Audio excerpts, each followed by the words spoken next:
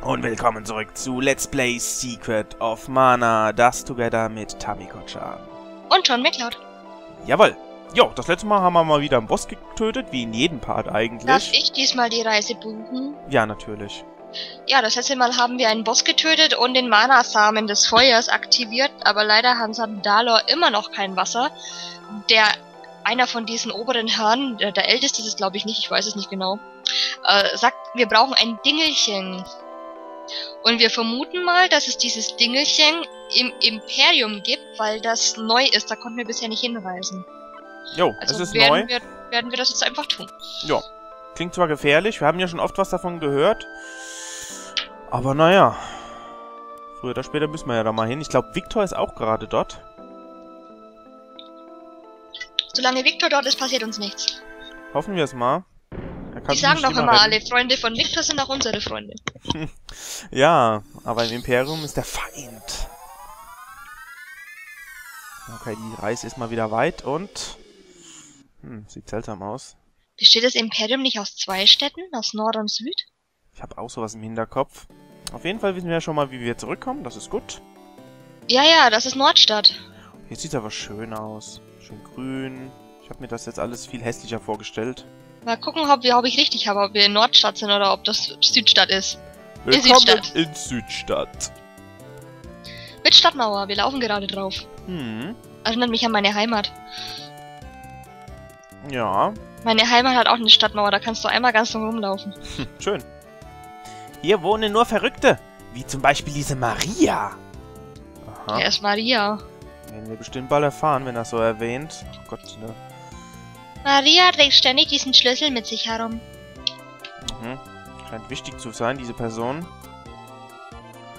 Der Imperator hat nicht mehr alle Tassen im Schrank. Er bereitet sich auf einen Krieg vor und hat eine Monsterarmee im Schloss. Ui, das klingt gefährlich. Äh, Sollen wir mal gucken, was die uns so verkaufen? Ja, Shopping. Gut, das scheint gar nicht das Shopping zu sein. Das scheint... Schlafen, ne? Ja. Stimmt. 100G! Ne, wir haben Mhm. gerade geschlafen. Und das deutlich billiger. Ja, speichern können. Nicht, oder? Brauchen wir nicht, aber hätten wir Oh, können, wenn ist. Ah, Ich glaub- vielleicht. Ich glaube, in Südstadt ist der Laden oben, über dem Hotel, genau. Ah, das ist natürlich sehr praktisch. Mal gucken, da gibt es bestimmt endlich mal was Neues hier. Oh ja. Dämonenring. Okay, den werden wir wohl dreimal kaufen. Ja, die Silberkette haben wir meines Wissens nach. Ja. Deswegen ist der Dämonenring bestimmt besser. So. Und die rote Rüstung, die Juwelweste. Die Goldweste haben wir und die Mhm. Titanrüstung war nicht so stark. Dreimal eine Juwelenweste also. Ja, es geht vom Geld noch. Wird aber langsam knapp. Ja, wir können es ja nachher umrüsten und verkaufen. Das werden wir genau jetzt müssen, sonst können wir uns keine Mützen leisten, weil das ist neu, die Strickmütze und ich bin Waschbärmütze, ich bin mir gerade nicht sicher. Waschbärmütze müsst ihr unsere Koboldin haben. Müssen wir gleich mal checken und die Goldkrone, ob das jemand von uns hat, das Zeug. Fang du an. Okay. Fangen wir mal an. Um... Ah, wir haben alle. Waschbärmütze haben wir alle drei. Mhm. Kannst du nicht gleich zweimal abwählen? Dann können wir das gleich mitverkaufen. Ja, genau. Ähm, wobei der Junge wird sie wahrscheinlich anlassen. Das, ich glaube, das war einmal was für dich und einmal was für sie, wenn ich es richtig gesehen habe. Ähm, na gut, machen wir das erstmal. Also, weg damit. So, da gehen die Abwehrwerte schön hoch. Ihr seht es ja oben rechts. Das ist... Das wird uns behilflich sein. Dann bin jetzt ich dran. Kleid. Ich leg die Mütze ab. Mhm. Hast doch deine Äugchen geschlossen. Ja, immer doch. Ich guck nur den Händler an. Ah, der Händler guckt dir zu. Ich war gerade irritiert, weil meine Mutter so laut spricht. Ich habe gedacht, die hat gerufen, aber die telefoniert. Ach so. So. Jetzt können wir das Zeug verkaufen. Ich warte mal gerade mit den Mützen noch, weil ich sicher gehen will. Aber das hier kann auf jeden Fall weg. Ja, das gibt gut Geld. Und das noch. Ja, davon sollte man sich doch zwei Mützen leisten können. Bestimmt. Ich gucke eben mal. verkaufen. Und ich habe gedacht, die wäre für uns alle... Nein, die war nur für uns zwei, hast du Für recht gehabt. euch beide, aber das da, jetzt ist die... Nee, das ist Die billiger. Goldkrone war nicht so hoch. Ja, jetzt sieht, so sieht gut. man ja am Preis. Mhm. die Goldkrone hätten wir schon mal haben können, und zwar auf der Weihnachtsinsel. Ja, sieht man ja auch am Preis. Okay, dann kriegt ihr das zweimal. So, dann kann ich das jetzt auch sicher verkaufen. Dann haben wir's. Tja, der Junge muss noch ein bisschen mit der Waschbärmütze rumlaufen. Sieht bestimmt süß aus. Jo. ha! Strickmütze. 26, Steff. Wunderbar. Die Kobolde brauchen wir noch, genau. Mhm. So, neu eingekleidet. Schick, schick. Ist da noch was? Nö.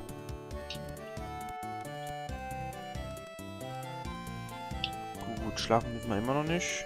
Nö, müssen wir auch nicht. Dann schauen wir uns hier mal weiter um. Da hinten war nichts mehr. Nicht? Okay. Mhm. Oh, guck mal den Brunnen. Das ist schön. Den kennen wir, glaube ich, schon, den alten. Nee. Du bist neu. Der geht weg. Aber bevor wir jetzt hinterherlaufen, Mhm. schauen wir uns die Stadt noch voll an. Weil wir konnten uns eben ni- nicht bewegen. Das heißt wohl, der ist wichtig. Aber es scheint, als wäre das das einzige Haus, wo wir derzeit besuchen könnten. Yep, sieht so aus. Na gut, dann gehen wir dem mal nach. Müssen wir wohl. Bisschen mysteriös, der Kerl, ha? Verschwindet hier! Äh, Ich glaube, wenn man über die Mauer kommt, kann man auch andere Häuser angucken. okay. Gucken wir mal. Weil... Ja, gehen. Ja, müsste gehen. Theoretisch. Da- Ja, klar. Wenn wir jetzt außen rum... Ah, ja. Ah. Okay, die ist da reingegangen. Das heißt, das Haus ist wohl wichtig. Willst du dich erst umgucken? Ja. Wie, nur, um nur mal sicher zu gehen. Ich glaube, da oben waren noch Leute. Ist richtig gehört da. Zum Da Beispiel. ist noch eine Frau. Südstadt ist ein wenig kleiner als Nordstadt. Mhm. Ah, dafür schön grün. Mir gefällt das. Gehört ihr zu den Rebellen? Nö, nö. Nö. Keine Angst. Da ist nix. Auch nix. Noch ein Brunnen. Schön. Diese ganze Stadt hat nur zwei Häuser? ja, ist ein bisschen komisch, ne? Das nennt sich Imperium. Das nennt sich Spielelogik. ja. So, die sieht ein bisschen aus wie die äh, Hexe von Dingens, ne? Vom Anfang. Hey, ich weiß, wer ihr seid. Äh, woher? Von Viktor. Ihr müsst wissen, ich bin eine Spionin aus Tasnica. Hat das richtig gesprochen? Ja. Genau wie, wie, wie mein Mann. Der jetzt leider in Gefangenschaft ist. Ihr wollt nach Nordstadt? Dann benutzt am besten den Tunnel der Rebellen im Osten von hier. Die Parole lautet 634. Okay. Ein geheimer Code, um da durchzukommen. Sollten wir uns merken bis dahin. 634, 634, 634, 634, 634, 634. Habe ich 634 schon gesagt? Ach, im Übrigen, der Code ist 634. Ja, Wusstest du, dass der Code 634 ist? ja, wenn wir den jetzt noch vergessen, dann weiß der Geier, was los ist. Wie lautet die Parole? Auf einmal fragt er uns, ne? Ja. Okay, ich darf 634. eingeben. Man soll das bekommen. 6, 3, 4. Ein W, die stimmt nicht. Rein mit euch. Natürlich Hey. stimmt. Die haben mir auch ich mir gemerkt. Yeah. oh, Dungeon. Fischis. Kanalisation! Und? Ich hasse sie. Entschuldigung. Sch- Ist scheiße, ne? Entschuldigung. Ist richtig scheiße. Nee, es, es verfolgt mich in jedem Spiel, deswegen. Es ist so ein kleiner Running Gag bei meinen Let's Plays. Ich weiß auch nicht. In jedem Spiel eine Kanalisation. Gut zu wissen. Hm. Das ist ein Gag, wo ich wo einbauen kann. Ja, letzt mich bei, Grantia dann in der Kanalisation ein, oder was? Ach, guck mal. Meine Lieblinge. Suburb-Lobbys. Hat mir bisher aber noch gar keiner erzählt, dass du, ähm, Kanalisation so liebst. Ja, das hat sich mit der Zeit so ergeben. Oh, ihr seid vereist. Nehmen wir nach. Und schon wieder. Eieiei. Ich versuche mal die zwei da oben zu killen, dann komme ich euch zu Hilfe. Nee, das muss da unbedingt abhauen. Nee, nee, nee, nee. Ich will kein Schneemann sein. Äh, ja, wir könnten unser Wochenthema äh, weiter ausführen. Äh, Breath of Ich dir Fire. mal eine Runde Kraftwasser. Sicher ist sicher. Auch wenn die uns jetzt gleich wieder verwohlt, ein bisschen können wir noch warten. Ja, es geht eigentlich noch. Was hilft denn gegen Eisblobs am besten? Wahrscheinlich Feuer. Äh, Feuerklinge. Hm. Das könnte wirklich gut helfen. Das ist die Donnerklinge. Ja, muss Da ist Vesuvio. Die hält nur nicht lang, weil das ist die, wo noch nicht aufgelevelt ist. Mhm, erst nächste Mal dann. Nein, ich hab nicht getroffen, ärgerlich. Na gut, ich denke, mit der Feuerklinge können wir auch normal drauf hämmern. Ah, sehr schön. Jetzt sind die nämlich schön im Brutzelzustand. Ähm, eins meiner absoluten Lieblings-PlayStation 1 Rollenspiele ist Chrono Cross, der Nachfolger von Chrono Trigger. Ah, warte mal, ich komme gleich, dann kann ich mehr viel haben, dann können wir uns zusammen nach rechts begeben. Okay, gehen wir rüber. Es war klar, dass der sich jetzt teilt, deswegen lade ich mal auf. Ach ja, es macht immer wieder Spaß mit denen. so, und drauf. Yes! Okay, die können nicht mehr viel haben. Na komm. Oh yeah. Tötet ihn! Da hast du noch zwei. Nein, nicht schon wieder teilen. Oh, die sind so fies, ey. Normal würde ich sagen, lassen wir es, aber ich habe dir versprochen, dass du diesmal so viele Blobs, wie du willst, erledigen darfst. Ja, wenigstens einmal, damit wir, damit wir uns sagen können, wir haben es geschafft, so nach dem Motto, ne? Ich mal mit hier. Kannst du nicht. Ja, ich bin gerade in der Koboldin. Damit das ein bisschen... Oh, ich glaube, ich habe auf dich eingeschlagen. Das macht nichts, das spüre ich nicht. Ich habe den John geschlagen. Mann, oh Mann, die halten aber auch was aus. Wie oft ich jetzt schon auf den drauf gedotzt habe, dann ist es ihm egal. Kümmere Ja, dich ruhig um den, ich kümmere mich um die anderen zwei. Mhm. Chrono Cross äh, hat storytechnisch nicht wirklich was mit Chrono Trigger zu tun, ist aber ähm, meiner Meinung nach auch nicht so gut wie Chrono Trigger, aber ist immer noch eins der besten Rollenspiele, meiner Meinung nach. Ähm, hat mir unglaublich viel Spaß gemacht, ist leider hierzulande nie erschienen. Alles auf Englisch. Aber nichtsdestotrotz, das ist auch so ein Spiel, das ich unbedingt mal let's playen möchte. Das ist auch schon richtig lang für mich her. Es hat ganz viele Endings, hat unglaublich viele spielbare Charaktere, ganz, ganz viel Tiefgang, wunderschöne Optik. Finde ich sogar noch ein bisschen besser wie die Final Fantasy auf der PlayStation 1, also das ist super. Ja, Ach ja. ich meine, wir leveln ja auch jetzt schön, ne? Oh, ich bin kein Schneemann mehr. Jetzt gerade nur noch zwei, dann hau ich mal drauf. Nur noch einer? Oh, Nein, okay, es sind wieder zwei. Ja, okay, wenn man es jetzt einmal... Oh Gott. okay, gib mir noch drei Minuten, dann, dann, hör, dann hör mal auf. Noch drei Minuten. Aber das sind da schöne Levelphasen, das ist ja alles nicht umsonst, was wir hier machen. So, mal gucken.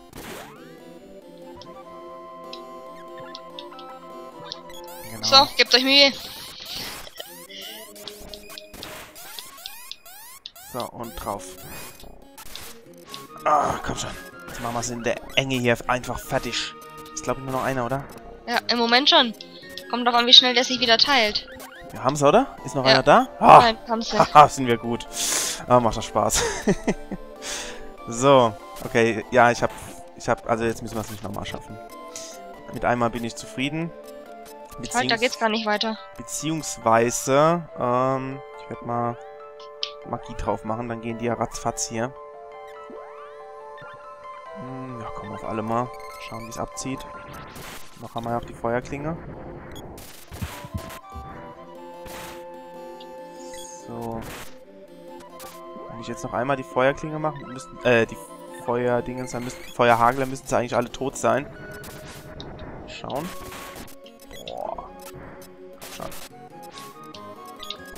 Mach du deine Blobs, ich mach den Fisch. Okay. Nur noch einer. Den schaffen wir jetzt auch noch. Wenn wir ihn erwischen würden. Teilen. Jawohl, du hast ihn. So. Läuft doch. ich habe gesehen, wo es weitergeht. Hier. Ah, okay. Außen rum. Ja, ähm, ich überlege gerade noch PlayStation 1 Spiele. Ähm, Legend of Dragoon natürlich, was ich momentan äh, mit äh, Dreambird gespielt habe, beziehungsweise jetzt mit Spyro weitermache. Super tolles Rollenspiel bisher. Dann äh, fällt dir noch was ein?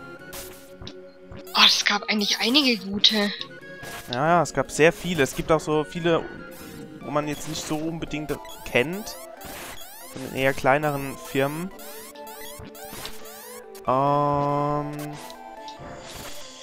Ach ja, die Mana-Serie wurde natürlich fortgeführt, was nicht ganz so beliebt ist bei den meisten, aber ähm, ich Auf fand der Playstation, das wusste ich gar nicht. Mhm. Legend of Mana fand ich persönlich sehr gut. Hat mir richtig gut gefallen.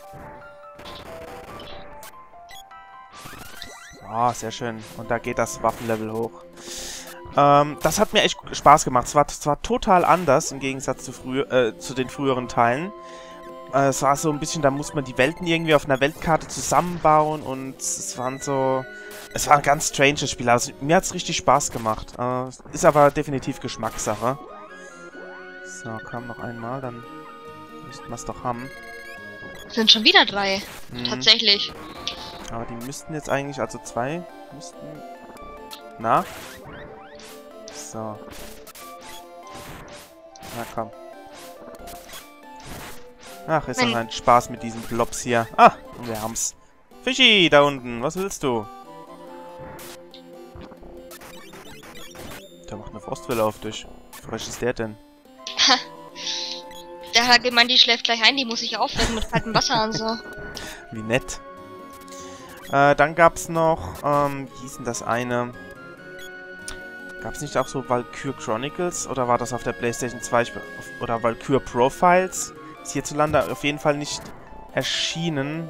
Auf jeden Fall, ich sag einfach mal die Valkyr-Serie, die glaube ich auf der Playstation 1 ihren Start gemacht hat. Leider nie gespielt, kann ich nicht viel dazu sagen.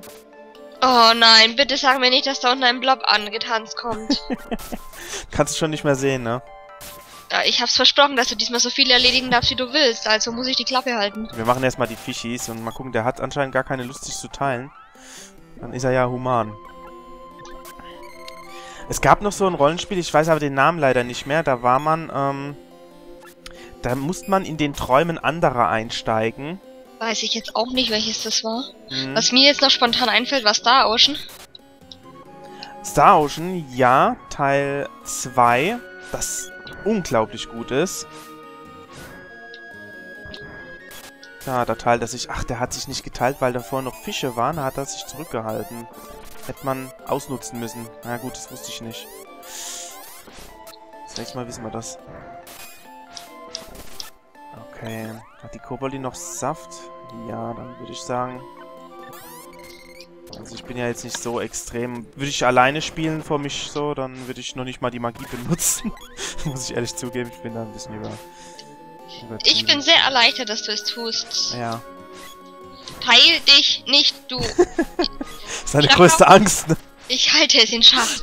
Sehr gut. So, aber ich denke, wir haben auch bald diese... Komm, lass die Ente Ente sein. Du hast genug Blobs schlagen. Darfst noch Fischis schlagen. Ja, okay, die Fische schlagen wir. Ja, irgend so ein Spiel, wo man in Träume reinstiegen konnte. Vielleicht war das sogar Alundra. Ich habe ja Alundra nie gespielt. Alundra, das könnte es sein. Mhm. Das ist auch noch in der Vitrine. Mhm. Alundra ist auf jeden Fall auch ein schickes Spiel, was ich unbedingt mal spielen sollte. Suikoden darf man nicht vergessen. Teil 1 und 2 auf der Playstation 1. Hammer hatte gute Mit Spiele. Mit Suikoden habe ich leider nie viel am Hut gehabt. Mhm. Super. Die sind echt super. Vor allem der zweite ist eigentlich mein Lieblingsteil. Äh, muss man gespielt haben. Ganz toll, äh, was äh, die Serie halt ausmacht, ist, dass du ganz viele Charaktere findest und in die Gruppe mithaben kannst. Es sind 108 Charaktere, die man insgesamt finden kann. Und jeder hat halt auch so seine besonderen, ähm, ja, seine besonderen Fähigkeiten. Man kann später noch eine Basis errichten, wodurch die äh, wodurch man halt auch Shops eröffnen kann und Schmieden und die eine, die, mit der kann man sich immer wohin waben. Also es ist unglaublich komplex, das Ganze. Wehe, du teilst dich. Wehe, Ich finde das lustig. Dass ich mich so aufrege über diese Blobs. So, generell. Was war hier oben eigentlich? Boah, ist die groß, ey, die Kanalisation. Aber das ist eigentlich ein gut, eine gute Taktik. Du hämmerst wie wild drauf und ich gebe den normalen Schaden und Sie kommen zu nichts. Ich hämmer eigentlich so wild auf ihn drauf, dass sie, dass es nicht dazu kommt, sich zu teilen. Ja, das ist. Das Das ist funktioniert. der Grund, warum ich so drauf hämmer. Ansonsten mache ich funktioniert. das nämlich ja nicht. Ja, klar, das meine ich ja, es funktioniert ja. Schön. Äh, mein erstes Let's Play ist auch ein Rollenspiel auf der PS1 gewesen, nämlich Kudelga, der Vorgänger von der Shadow Heart Serie, die ja bei mir demnächst ansteht. Das heißt demnächst im Winter. Ist das geplant? Ach ja, es gibt noch so viel, aber ich denke, die restlichen heben wir uns noch für den dritten Part auf, sonst fällt mir nichts mehr ein für den dritten. Ist es schon soweit für den dritten Part? Bald, ja, aber ich würde gerne einen schönen Abschnitt finden und ich glaube, wir haben ihn soeben. Reden wir noch mit denen und dann Wer seid ihr? Spione des Imperiums? äh, sehen wir so aus. Man weiß ja nie. Herzlich willkommen im Rebellenhauptquartier. Ich bin John, der Mana-Held. Ganz bescheiden. Angeber, willst du sie damit beeindrucken? Eifersüchtig, hm? Quatsch, ich liebe doch Hagen. Hagen? Etwa den Hagen? Äh, warum? Ein gewisser Hagen hat die Leute bei den Ruinen hypnotisiert. Wie in Pandoria, aber Hagen ist doch... Vielleicht ist es ja ein anderer Hagen. Das solltet ihr ja... Das solltet ihr nachprüfen. Okay, das klingt ja beunruhigend. Der ganze Ärger begann vor 15 Jahren. Hm, wir reden noch mit denen. Viel Glück. Vertraut Sarah. Na, sicher doch. Äh, Sarahs Vater hat diesen, Or- diese Organisation ins Leben gerufen. Als er verhaftet wurde, hat Sarah die Führung der Rebellen übernommen. Sie ist erst 18 Jahre alt, aber eine tolle Frau. Okay, ja, scheint sehr selbstbewusst zu sein und wir machen selbstbewusst weiter in ein paar Tagen, wenn es wieder heißt Let's Play Secret of Mana. Jo, bis dann.